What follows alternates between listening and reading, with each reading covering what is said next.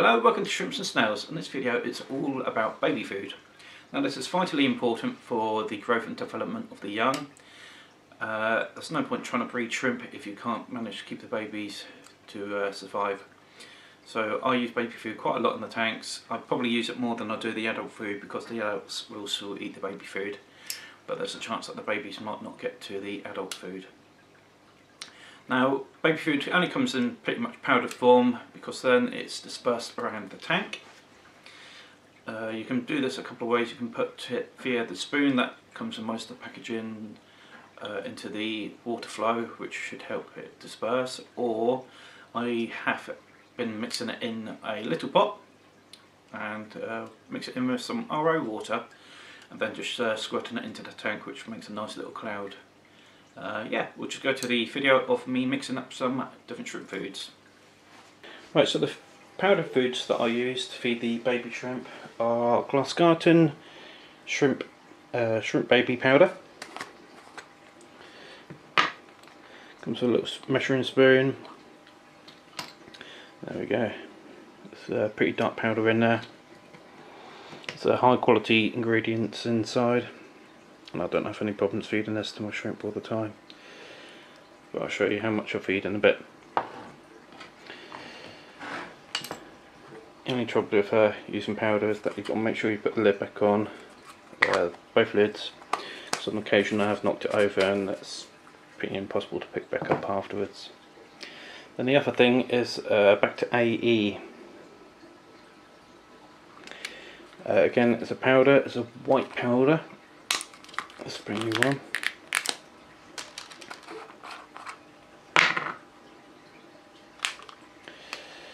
There we go, just show you through the lid. So it's white powder which helps promote growth of the biofilm which is the shrimp's natural food source. There we go.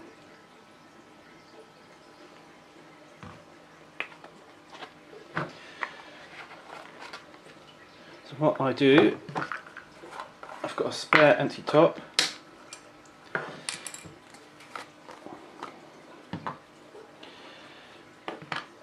Is I mix 10 spoonfuls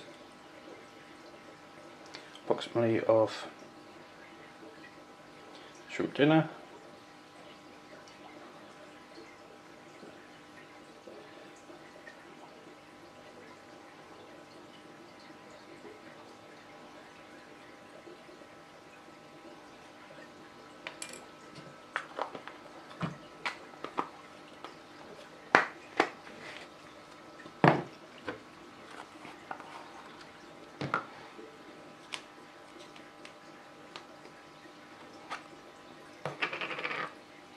15 Bacter AE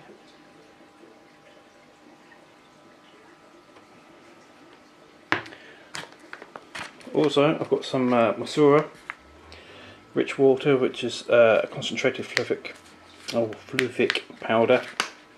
Now this helps with molting and general well-being of the shrimp It's a very strong smelling product this. It kind of smells like extremely strong coffee.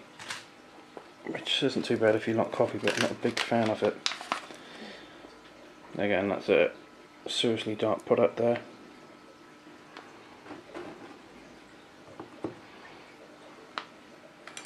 one of those. if my voice doesn't break.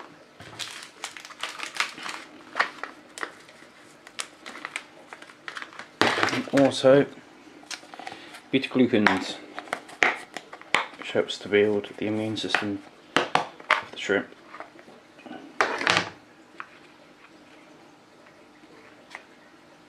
So I'll give them a couple of spoonfuls of that.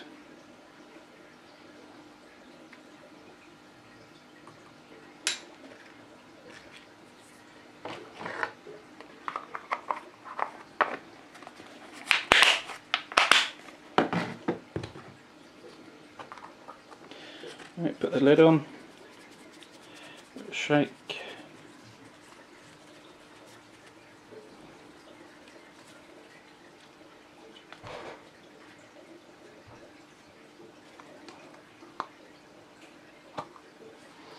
There we go.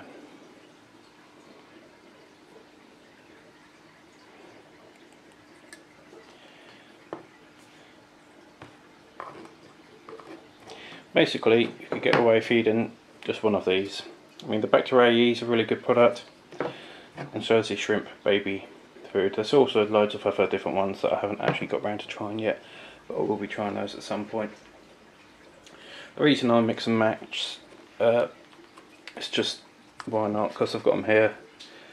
I've had no problems with them reacting to each other, at least that way I can put some uh, particular glucans in and a bit more uh, acid in there. And yeah, I don't get any problems. Right, now the great thing about feeding all this powdered food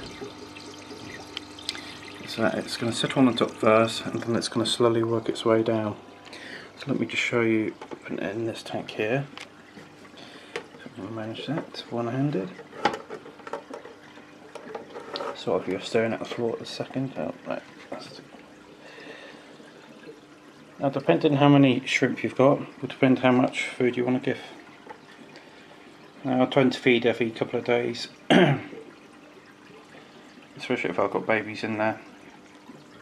So basically put it in the top, it slowly spreads out over the surface of the uh, water. Now you can mix this with uh, some pure RO water and just uh, squirt it into the water which I'll show you in a minute how to do that. Then slowly you can see uh, there you go little granules slowly slide, uh, floating down. That means everyone in the tank's going to get a bit of uh, food rather than have to fight for it which is not particularly brilliant for babies because then the adults are just going to fight them off. Now you've got to be careful that you don't feed too much as it can have adverse effects to your water um, but yeah the main goal is for these tiny little guys here to actually get some food and to grow up. If you want your uh, baby survival rate to go up then definitely uh, think about using some powdered foods. Right, the other way to do it is to uh, take some tank water or some RO water and put some uh, of the uh, powders inside it. Inside a cleaned out plastic bottle. And just give it a good double squirt within the tanks. So if I under the lid there we go. Sorry trying to do this one handed this clean bum. Yeah a bit clouding everywhere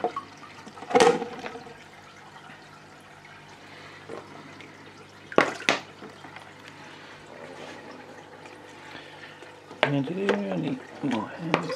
Squirty. There you go. Everyone's just going a bit mad for it now. I'm trying to get these bottom ones.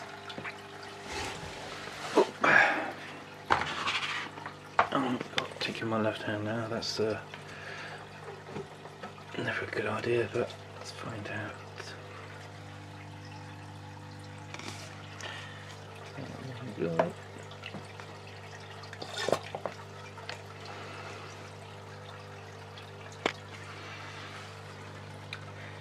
Yeah, see lots of tiny little grains everywhere.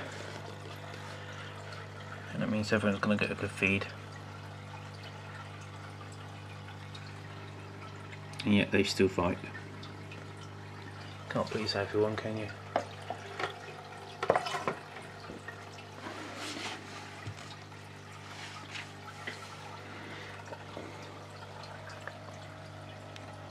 surface now. Yeah, he's grabbed hold of a piece of leaf or something there.